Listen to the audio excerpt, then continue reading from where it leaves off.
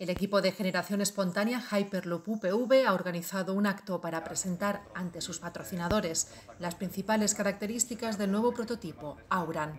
Hyperloop UPV ha apostado en este 2022 por la levitación, lo que permitirá conseguir un prototipo más ligero y rápido al eliminar el rozamiento con la superficie. Se trata de un sistema de levitación innovador que elimina uno de los problemas más frecuentes en este tipo de sistemas, como es el alto consumo de corriente.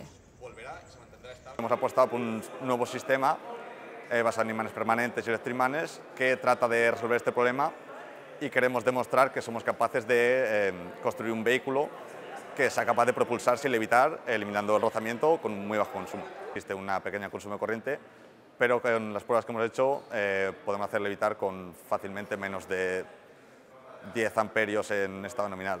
Además, el equipo ha presentado un fragmento del diseño interior del vehículo, pensado para lograr un vehículo rápido, cómodo y eficiente.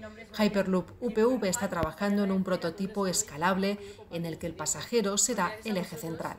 Este diseño de interior se caracteriza principalmente por formas voluminosas que aporta el asiento, es decir, el armazón, que aporta privacidad e intimidad al usuario. teníamos muy claro que iba a ser una apuesta de nuestro diseño de interior que queríamos que estuviese desde el principio.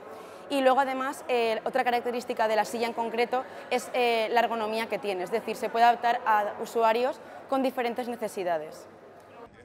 La presentación oficial del vehículo prototipo desarrollado por Hyperloop UPV, Auran, será el 21 de junio. A partir de ahí comenzará la cuenta atrás para competir en la European Hyperloop Week, este año se celebra en Países Bajos del 18 al 24 de julio.